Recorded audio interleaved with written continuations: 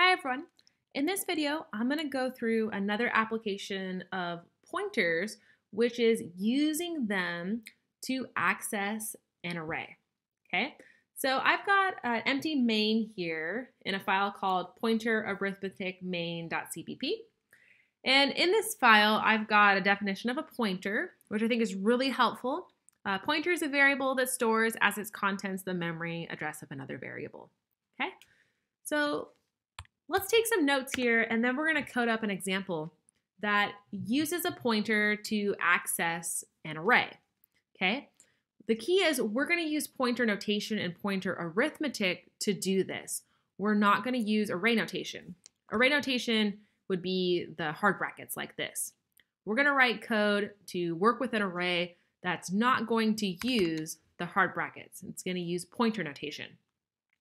All right, so an array stores the memory address of the first element of the array.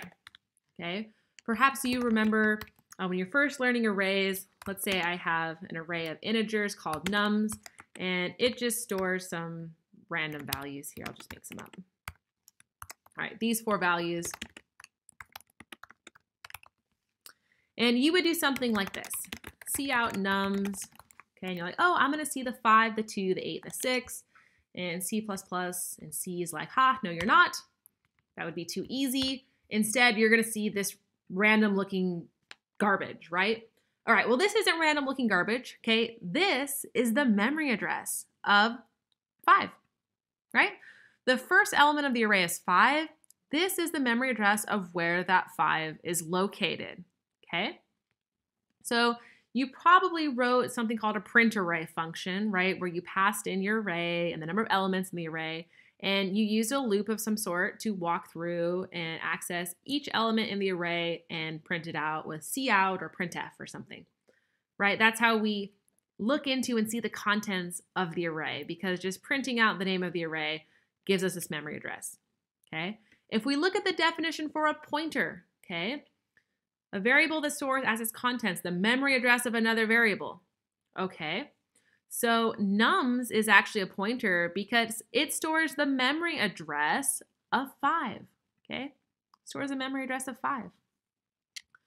All right, so let's write this little print array function. We'll use array notation, and then we're going to come back and throw the array notation away and write it using pointer notation and pointer arithmetic. All right, so I'm going to call this print array function that I'm going to write here shortly. Okay. Its return type is void, and it's going to accept an array of integers. I'll call it ARR, and a size. So this simple function is just going to walk through using a for loop each index in ARR and use it to index into the array and print out the element at that index.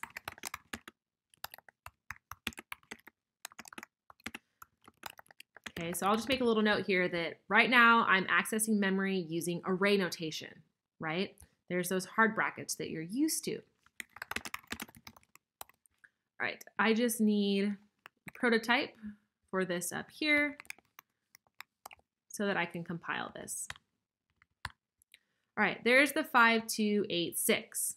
Okay, so I haven't really done anything with the knowledge that an array is really a pointer. Okay, I'm treating it just like an array.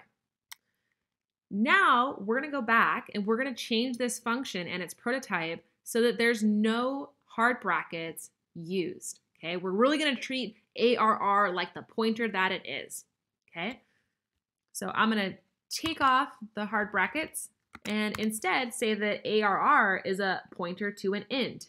Okay, the type of ARR is int pointer. Okay, ARR stores the memory address of 5, right?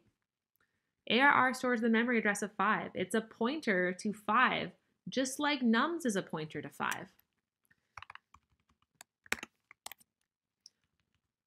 All right, I'm going to comment this line out just so that it stays in the code and I'm going to rewrite it. And this time, I'm going to use the in uh, the unary indirection operator to dereference ARR using an offset. Okay, So this is the start of my pointer notation.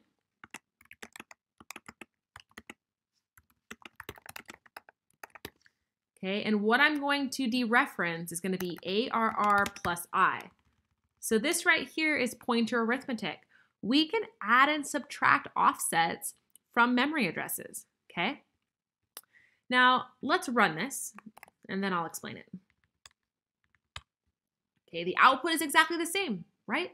Because ARR is a pointer, just like nums is a pointer, okay? So under the hood, arrays are really just pointers, okay? That's the beauty of them. Instead of having to store a variable for 5, 2, 8, 6, etc., I can just store one variable and its contents is the memory address of the first element in the array, and then I can use an offset in order to look up any of the other values in the array I want, right? That's what's so nice about arrays. One variable for, say, 10,000 elements instead of 10,000 uh, variables, one for each element. All right, so what's going on here with this ARR plus I? So let's think about the values of I, right? So we know that size is 4, so I is going to be 0, 1, 2, 3.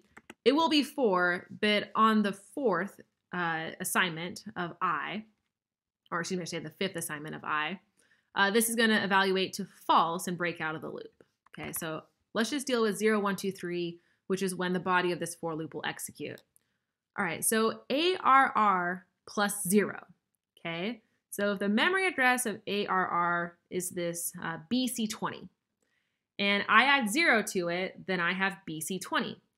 If I dereference BC20, okay, I get 5. And that's where this 5 comes out right here. All right, next iteration, I is now 1. I add 1 to ARR. No, I don't add 1 to ARR. What I do is I add one memory cell to ARR, okay? I'm not adding one byte to this memory address to get BC21. I'm adding one memory cell's size to ARR. So we have an array of integers. Integers are four bytes, right? They take up four bytes. So here I've got four integers, each four bytes in size. So I've got 16, I'll write this on the next line actually, uh, 16 contiguously, okay, that means they're, they're touching, they're butted up right next to each other, contiguously allocated in uh, bytes. I'll say to store four ints, okay? So the memory address of 2 is going to be 4 bytes greater than the memory address of 5. The memory address of 8 is going to be 4 bytes greater than the memory address of 2, which is going to be 8 bytes greater than the memory address of 5. Okay?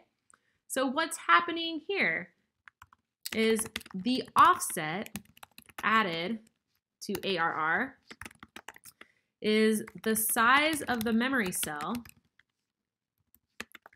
times the offset to get the total bytes. Okay? So let me try to explain this one more time. In fact, I think it might help. Let's do this. Let's cout the address of nums sub 0. Then let's print out the memory address of the remaining three elements.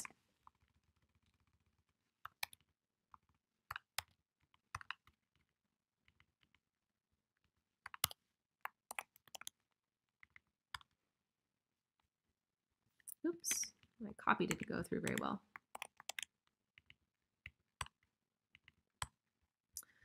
All right, so here's the memory address of our four elements, okay? They're contiguously allocated as 16 bytes, and we can actually see this. This is really nice. This worked out this way. All right, so here we have 3280. That's the memory address of 5. And then four bytes down the road from it, right next to it, at 3284 is the memory address of 2. And then 3288 is the memory address of 8. And then 328C is the memory address of 6. So you can see that the memory addresses go up by 4 bytes. Okay? So what we add here as the offset, okay, i is not the number of bytes. What we add is the number of element offsets, okay, the number of memory cells. Okay, this is a memory cell, this is a memory cell, this is a memory cell, this is a memory cell. Each memory cell in this example is four bytes because we're working with ints, okay? So ARR plus two, for example, is going to add two times four bytes, eight bytes to ARR. So 3280 plus eight bytes is 3288. And we go to that memory address and we grab its contents, and that's what we print out and that's why we get the 8. All right, so just to recap, arrays are pointers. Okay, arrays store the memory address of the first element in the array. If we have a pointer to an array, like we have here, okay, that's just contiguously allocated memory cells, okay? Each memory cell is the size of what type is being stored there, okay? So if we have a pointer to an array like we have here, we can use the array notation, okay, or we can use the pointer notation. Either one works because the compiler behind the scenes, when we use the array notation or the pointer notation, is really saying, okay, what type does this pointer point to? Okay, it points to ints. Ints are four bytes. So if they want an offset of, say, one, I've got to multiply one by four bytes is part of this pointer arithmetic or our uh, array subscripting to figure out the memory address to go grab the element of. All right. Well, thanks for watching this video. Hopefully that explains a little bit more about why arrays are passed by reference, okay? Because we're really just passing a pointer to the array. Thanks for watching.